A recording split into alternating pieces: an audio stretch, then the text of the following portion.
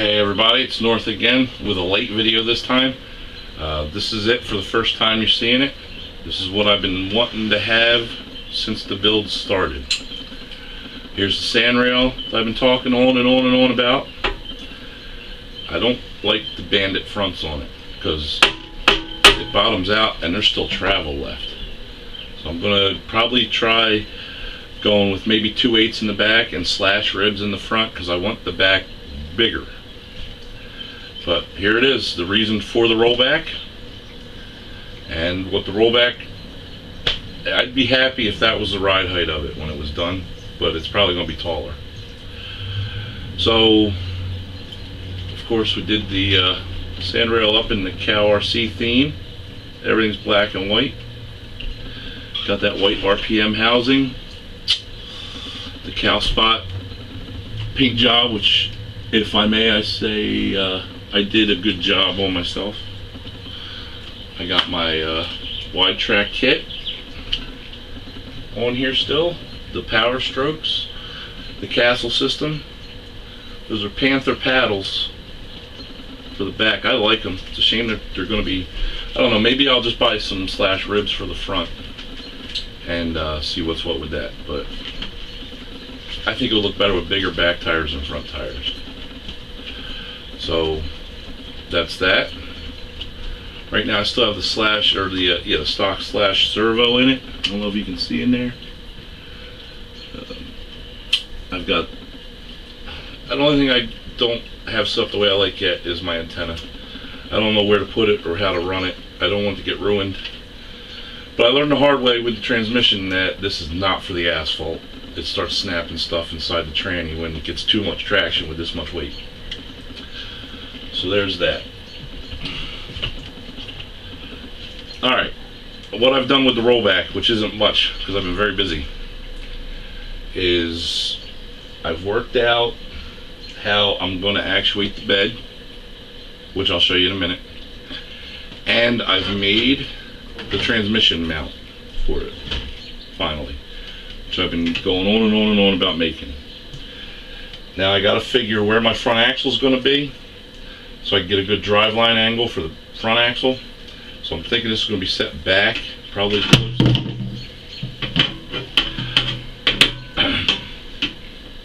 It's awesome. Shut up. Probably as close to the back of the body as possible, but I still have to leave room for the rear shaft to come out.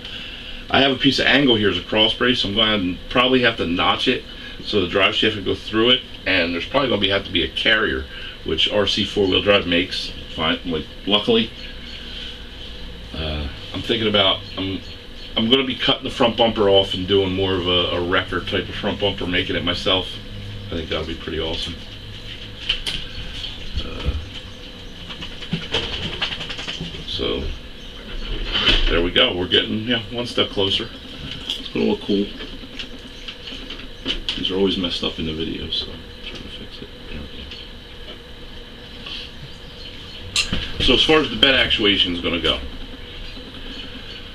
I've been thinking and I keep coming up with like, oh, that's a great idea, but it won't work. And then, oh, that's a great idea, but it won't work.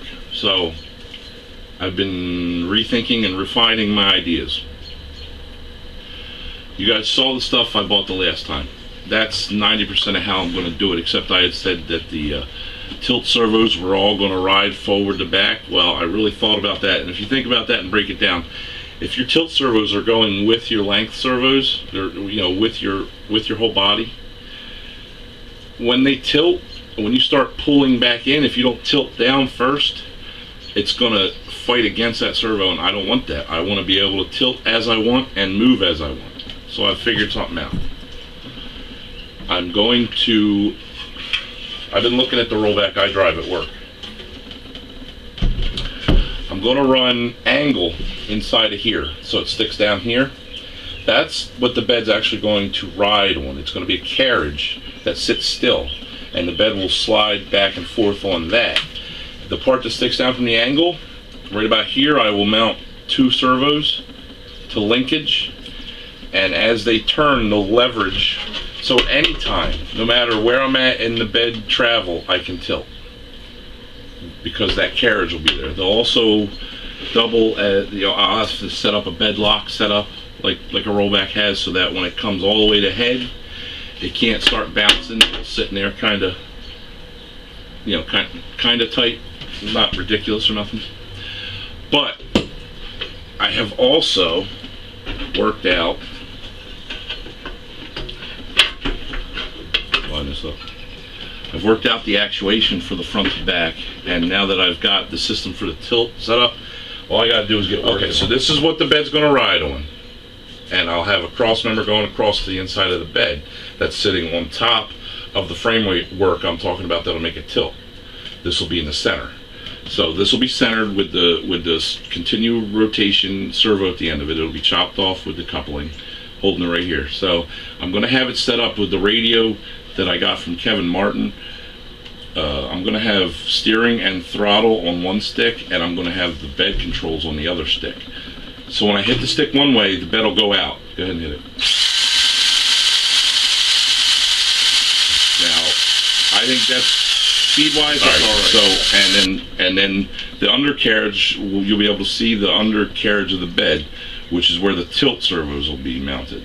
So once it's out to here, it'll tilt, and you know we'll have the winch on it so it can winch up. And then when we're done, it'll you know we'll start coming back up with it. Go ahead, and show it coming back in.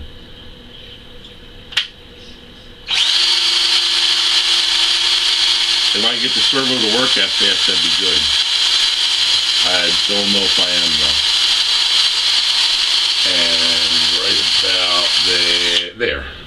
So, like I said before, this will be the one end. It'll have a lock nut and it'll ride in a pillow block. This this end will ride in a pillow block also, but it'll have the servo on the end.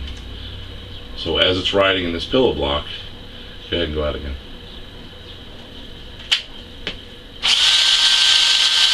This will hold still. Like always, when I do a video, it's followed by a contest. I have the Cow RC mats back now.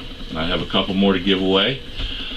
Hopefully, while I'm giving the last one away, that is the last video. So like when I always do one of these videos, I give away Cow RC mat from a contest. There it is. That's the one somebody's going to win this time, this month. Uh, again, I'm sorry for the lateness of the video. Uh, things have just been really hectic and really busy got ideas for the contest I'm going over with the other admin. So we're going to figure out what's what and get that posted ASAP so you can win yourself one of these. And again, like always, thank you Cow RC for doing this. And I, I'm showing my appreciation with my sandrail. Definitely got something to do with it. And I hope you like it, Heath. Also, Dick Edward asked me to say good day to all Australians. So, good day. Is that an Australian accent? I don't even know. Okay. Thank you.